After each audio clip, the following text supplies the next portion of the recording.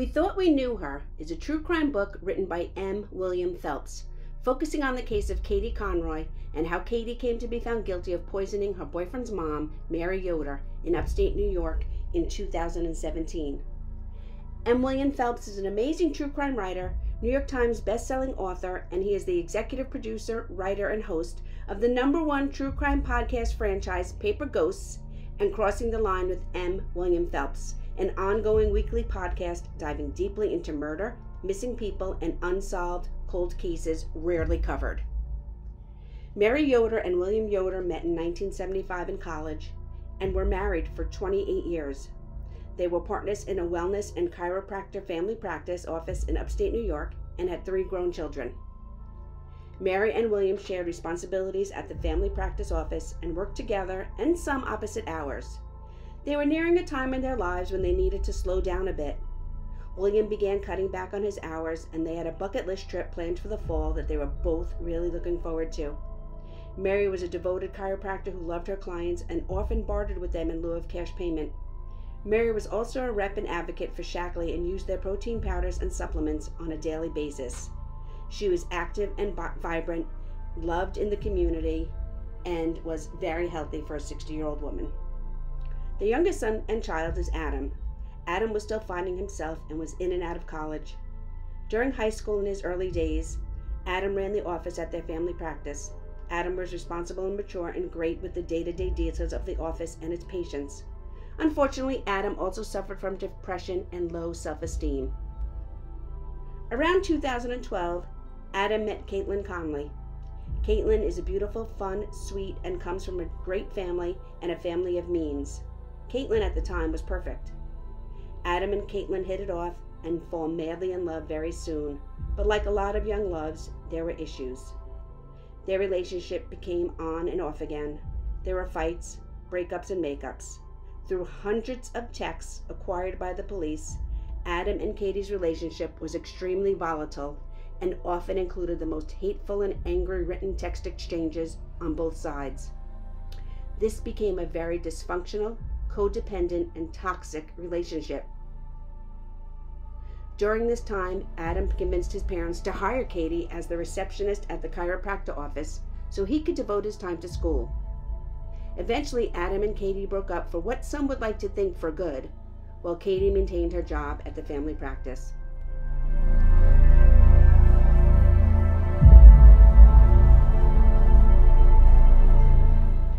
Adam tried to continue a friendship with Katie, but even that seemed very difficult.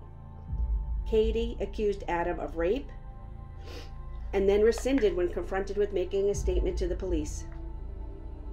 The details of this and hundreds of texts of this dysfunctional relationship are way too much to expand on here, but you can find out more by reading M. William Phelps' book, We Thought We Knew Her, or checking out the YouTube video in the descri- description below a&E's Mysterious Murder of a Beloved 60-Year-Old Chiropractor, Season 15, Episode 2. In spring of 2015, during an on time, Katie provided Adam with supplements to help him concentrate for finals and be less tired. After only taking one supplement, Adam became very sick. Adam was not sure of what happened and was very ill for days. In this time, Katie continued to encourage Adam to take the supplements to feel better. As sick as Adam was, he did not take them anymore or anything else and let the so called illness run its course.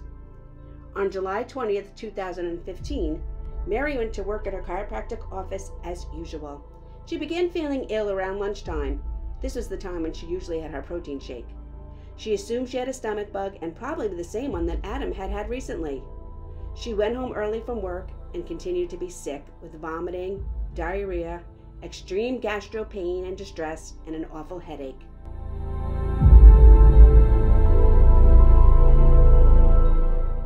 She spent the night on the couch near the bathroom and continued to be sick. When her husband William woke up in the morning and found her gravely ill on the couch, he took her to the emergency room. A series of tests were given, and Mary was put on an IV to get her hydrated. That day and into the evening were uneventful, but Mary did not seem to be rallying or getting any better.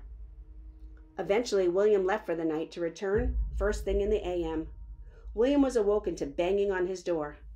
The hospital had, tried, had been trying to get in touch with him. Mary and Bill had a habit of charging their phones in another room at night so as not to be woken, and it is assumed that force of habit had Bill leave his phone in the other room that night, as well as Mary lay in the hospital. He was instructed to get to the hospital right away, that Mary had been taken a turn for the worst and was now in ICU. Bill called his three children and headed for the hospital.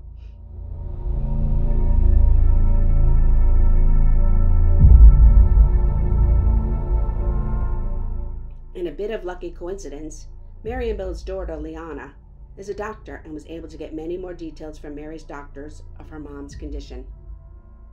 As the children and Bill sat near Mary in ICU and prayed, Mary slipped away and died within 24 hours of feeling sick, leaving her family shocked and devastated. The doctors, Bill and Leanna, all thought it was a great idea and a very much needed idea to have an autopsy performed. How does a healthy, energetic, 60 year old woman get sick and die within 24 hours. Mary's autopsy was thorough and investigated for common poisons, including cyanide and arsenic. In another series of coincidences, a poison control expert suggested that Mary be tested for colchicine, a medication used to treat painful conditions such as gout. When this drug is being taken, it has to be in very, very small and accurate doses. If it is taken in incorrectly, it can be highly toxic. Colchicine has what is called a narrow therapeutic index, which means that the window between a therapeutic dose and a fatal one is very small. Colchicine is also widely used to enhance crop growth.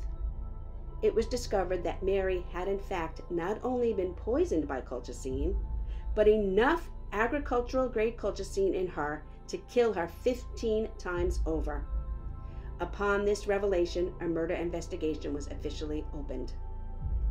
Of course, the first person to be looked at and investigated was Bill.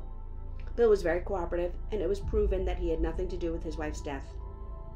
The investigation was stalling until four months later when an anonymous phone call was received and an anonymous letter was received by the police. The anonymous letter shifted the focus to Adam. As part of investigating Adam, Katie was brought in for questioning.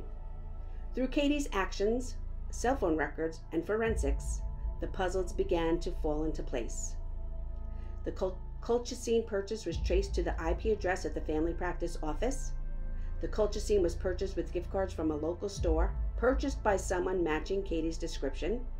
The anonymous letter was written on a computer at the chiropractic office. The gift cards that were used to purchase the colchicine were purchased from an IP address at the family practice office. When Adam's truck was searched, a bottle of colchicine was found under the seat, but instead of having Adam's DNA on it, it had Katie's DNA. Katie was soon arrested and put on trial in May of 2017 with what was a very circumstantial basket of evidence. Circumstantial evidence is still evidence, but often harder for juries to make sense of. This trial ended in a hung jury. Assistant District Attorney Lori Lisi decided to retry Kaitlyn.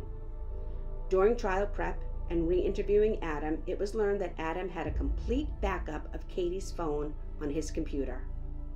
Apparently, Katie had connected her phone to Adam's computer at some point to download a book or podcast, only to have her phone completely backed up to Adam's computer. Although asking Adam several times to delete that backup, Adam never did.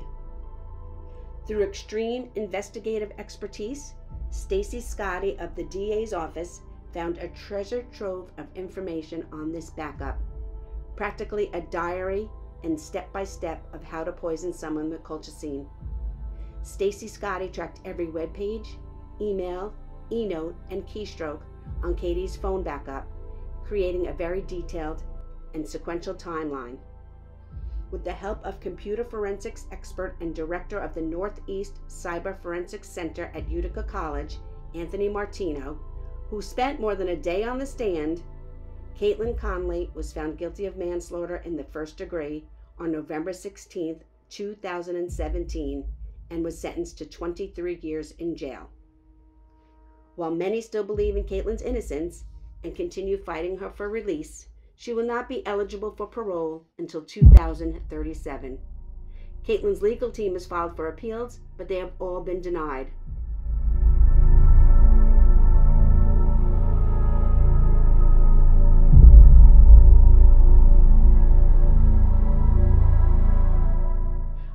Continue to be one of these people who do not believe in Katie's innocence.